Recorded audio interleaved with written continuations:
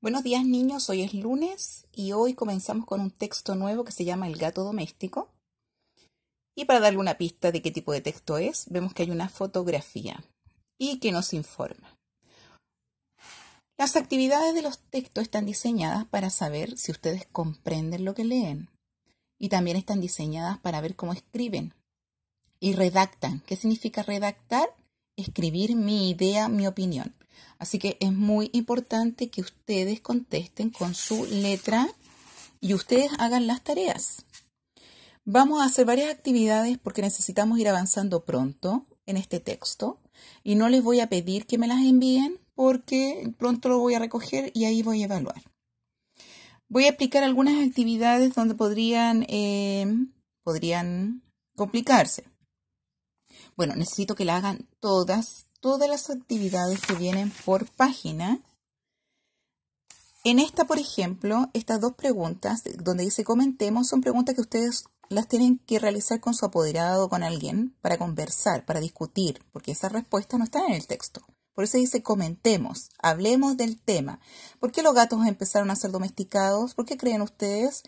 ¿Solo los gatos salvajes son cazadores? Bueno, ahora con Internet podemos saber muchas cosas si no tenemos idea de algo.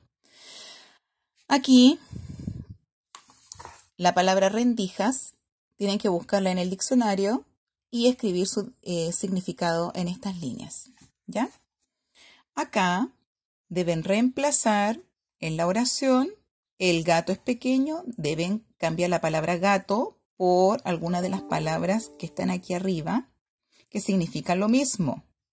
No tienen que escribir gato y gato, tienen que sacar otra palabra de aquí y completar la línea. Las palabras que signifiquen lo mismo que gato, sí. ¿Ok? Después llegamos a esta parte donde tienen que escribir. Muy fácil, muy fácil y creo que esta tarea la habíamos hecho antes. Escribir los nombres de las partes del cuerpo del gatito. Esta página se la van a saltar y van a realizar hasta la página 25. Aquí de nuevo tenemos familias de palabras. ¿Ya? tienen que escribir palabras relacionadas en el significado. Pelos.